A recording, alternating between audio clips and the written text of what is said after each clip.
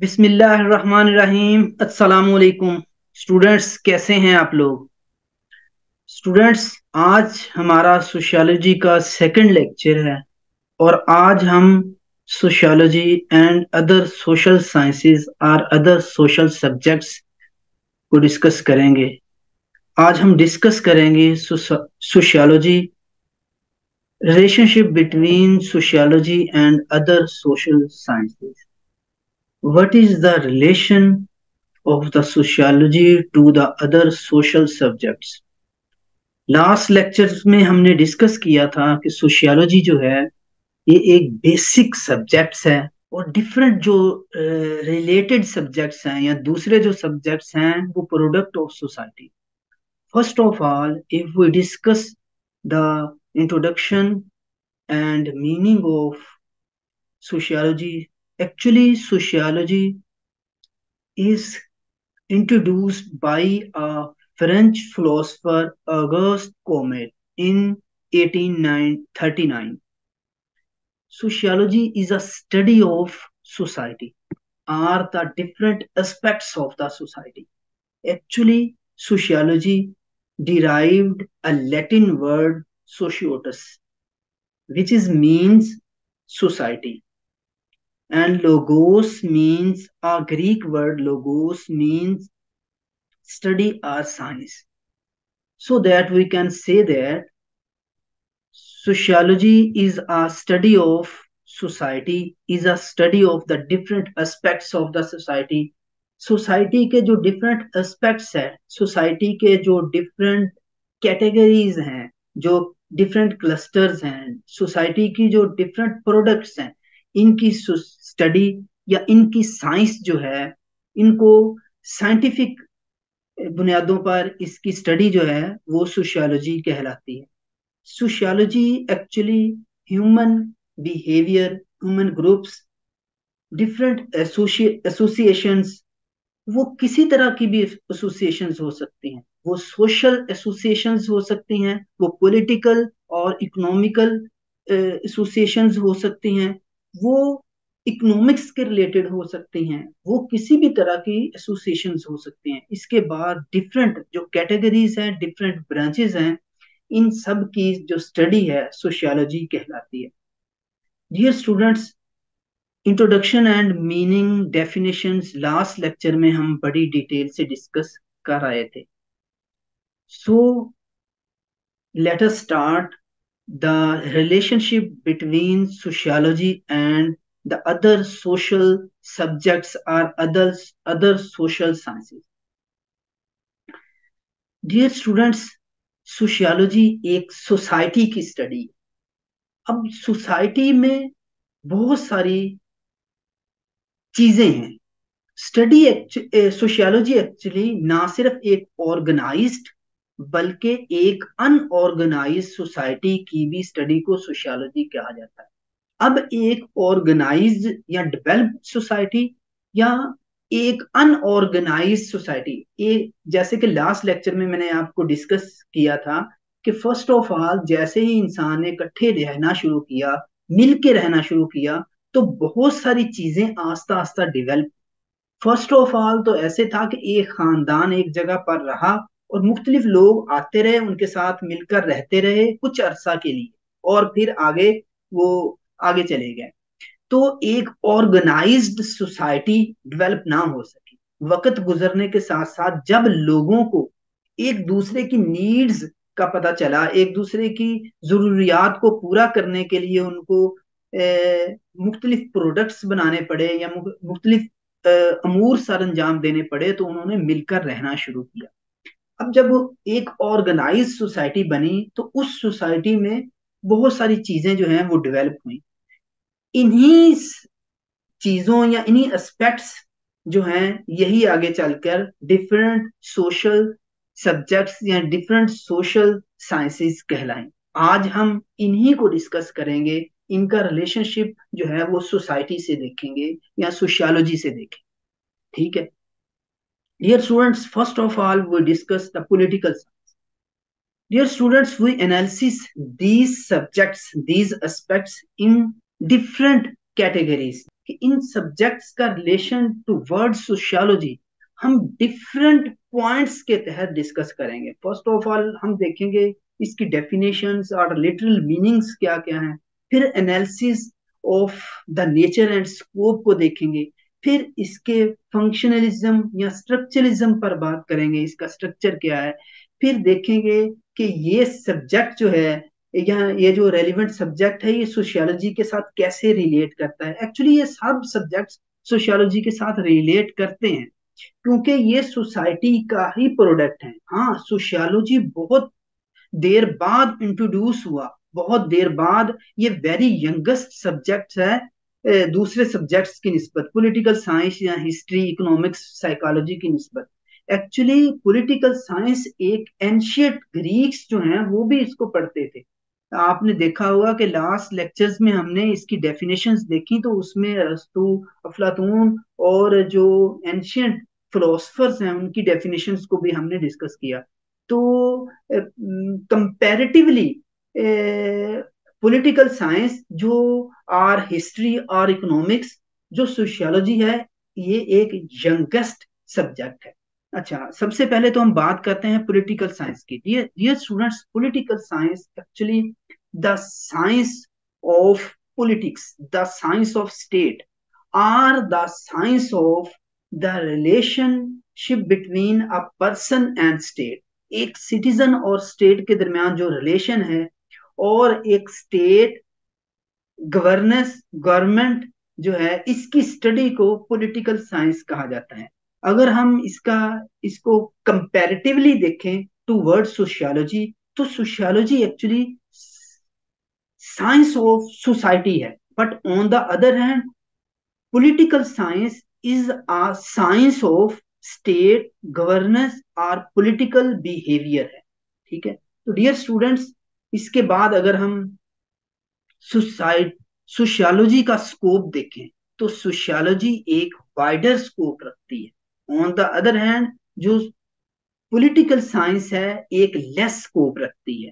Dear students actually sociology जो है, ये स्टडी ऑफ़ साइंस है। ये स्टडी ऑफ़ सोसाइटी है। तो सोसाइटी को एज अ होल स्टडी करना जो है, एक वाइडर स्कोप रखता है। बजाय के जो पॉलिटिकल साइंस है ये एक study of a particular thing a particular aspect of the society है। ये सोसाइटी का एक जो हिस्सा है या एक एस्पेक्ट है, उसकी स्टडी जो है, वो पॉलिटिकल साइंस कहलाती है। तो इसलिए हम कह सकते हैं कि sociology has a wider scope on the other hand जब political science is less scope dear students next one is sociology and history actually जो सोशियोलॉजी है ये स्टडी ऑफ़ सोसाइटी है. On the other hand history भी society की ही study है.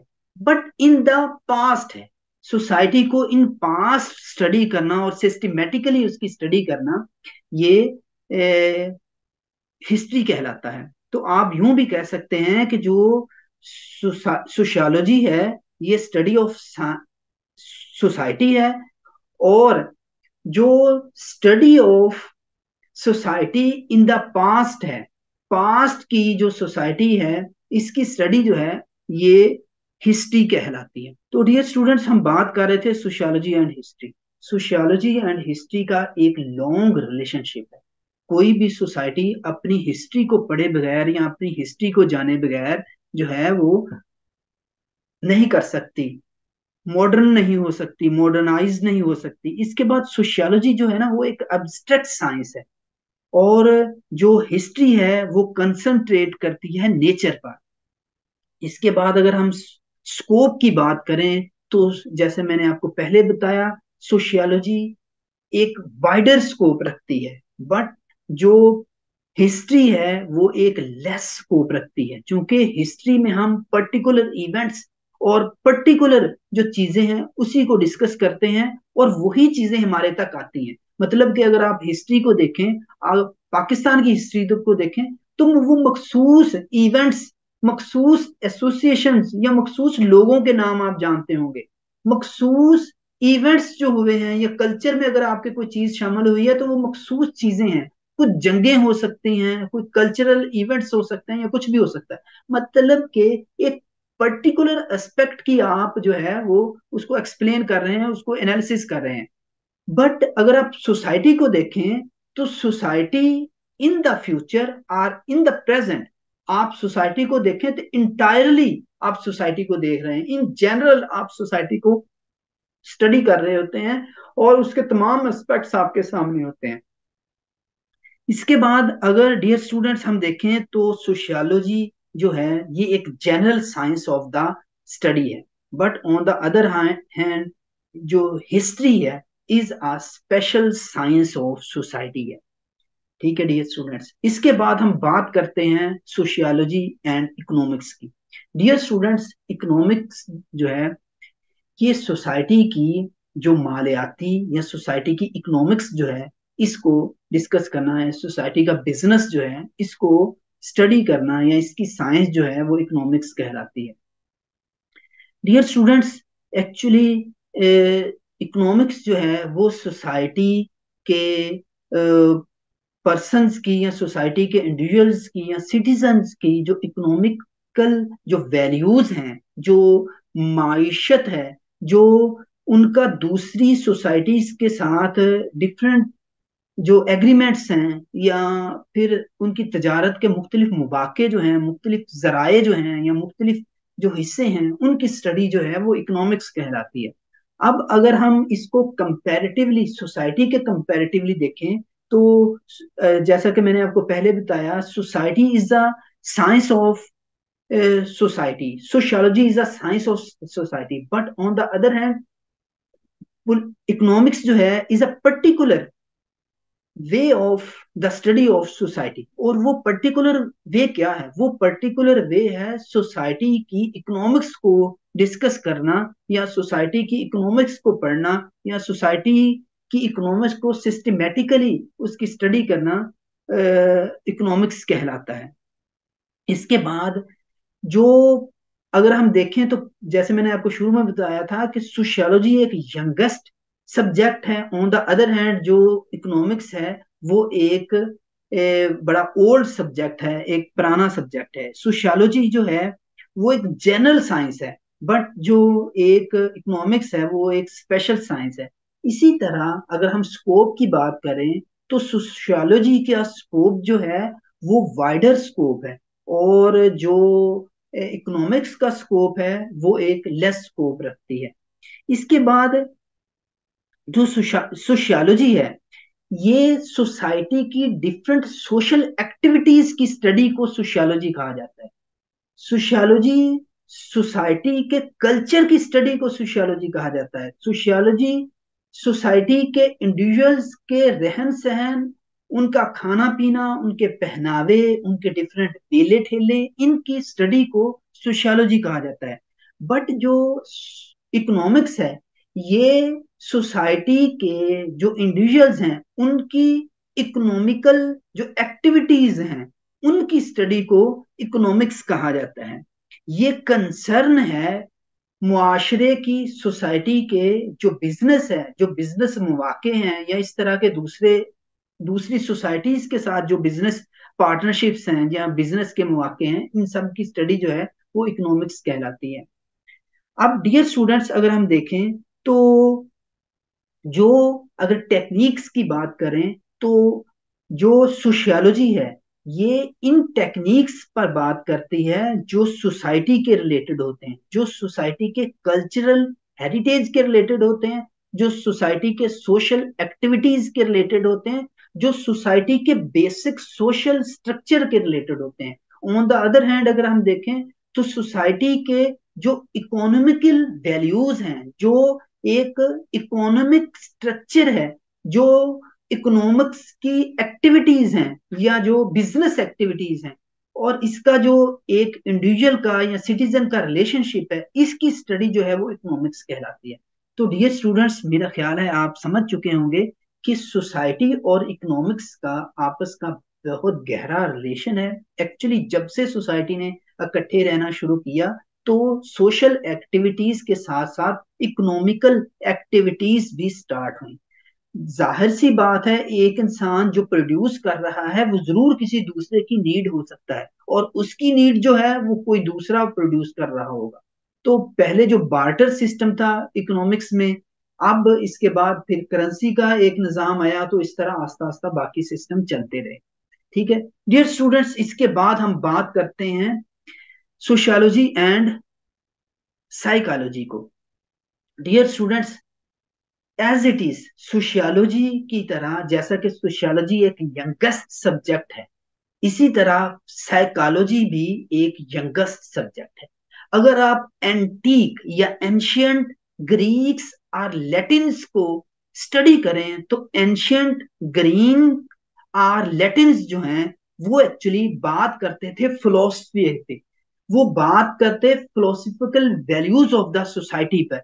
अब फिलोसफा जो है फलसफा जो है, ये साइकोलॉजी एक्चुअली फलसफे का ही एक सब्जेक्ट के तौर पर पढ़ाया जाता रहा है सेवनटीन एटीन सेंचुरी तक।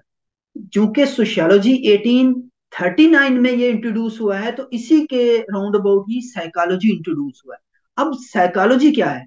सबसे पहले अगर आप साइकोलॉजी की डेफिनेशन अगर आप एंटीक या एंशियंट ग्रीक्स और लैटिन फिलोसफर्स को देखें या उनकी डेफिनेशंस पढ़ें तो आपको उसका जो मेन थीम है वो यही नज़र आएगा कि the study of the human mind or the study of the human and soul the relationship between human and soul the study of the this universe is called sociology psychology और philosophy actually उन्होंने जो definition की हैं, वो philosophy के ही तहत psychology को की।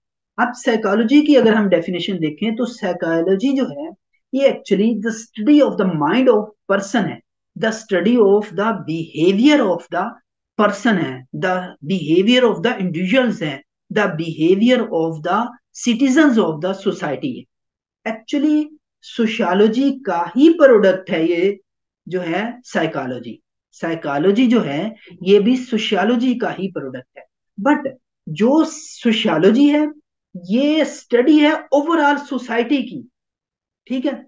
और जो साइकोलॉजी है, ये स्टडी है इसकी एक अकाई की, एक पर्सन की और पर्सन की बिहेव की, एक कुछ पर्टिकुलर थिंग्स की मतलब कि इसके माइंड की। इसकी बिहेव की, इसकी पर्सनैलिटी की, इसके इमोशंस की, इन सब की जो स्टडी है वो साइकोलॉजी कहलाती है। अगर हम इसको कंपैरेटिवली देखें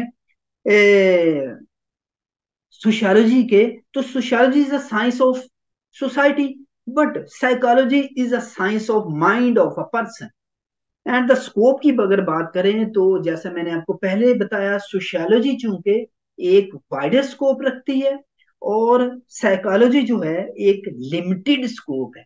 एक्चुअली साइकोलॉजी बात करती है जस्ट एक इंडिविजुअल की इंडिविजुअल के माइंड की, इसके बिहेवियर की, इसकी पर्सनालिटी की, इसके इमोशंस की मतलब के इसके सेंसेस की बात करती।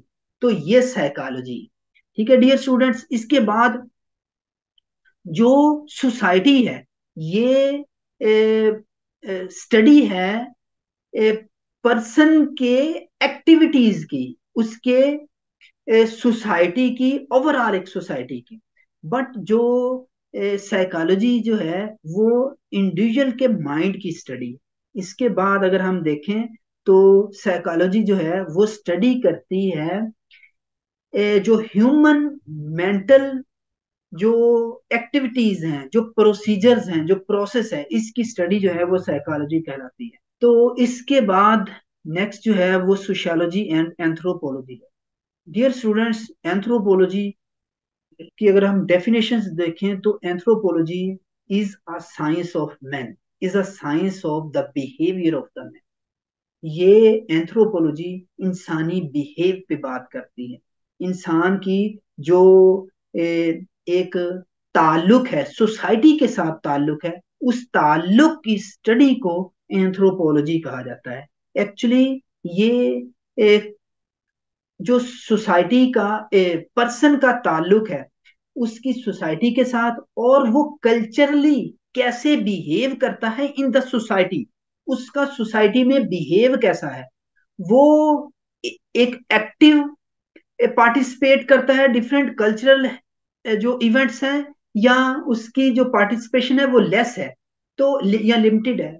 तो इन सब की जो स्टडी है, वो एंथ्रोपोलॉजी कहला, कहलाती है। अगर हम इसको देखें तो sociology is a study of society whereas anthropology is a science of man and his behaviour dear students scope की अगर बात करें तो सोशियोलॉजी एक वाइडर स्कोप रखता है और जो एंथ्रोपोलॉजी है, ये सोसाइटी का ही एक प्रोडक्ट है, इसके, इसलिए ये लिमिटेड स्कोप रखता है।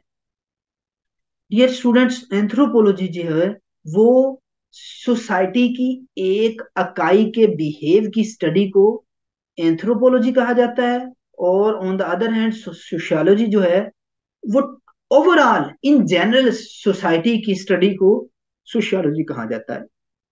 डियर स्टूडेंट जो सोशियोलॉजी है, वो एक modern civilised and complex societies की स्टडी को सोशियोलॉजी कहा जाता है। और एंथ्रोपोलॉजी जो है, वो ancient and non literate society जो है इनके जो सिटीजन हैं, इनकी स्टडी को एंथ्रोपोलॉजी कहा जाता है। तो डियर स्टूडेंट्स उम्मीद है कि आप इसको समझ के होंगे।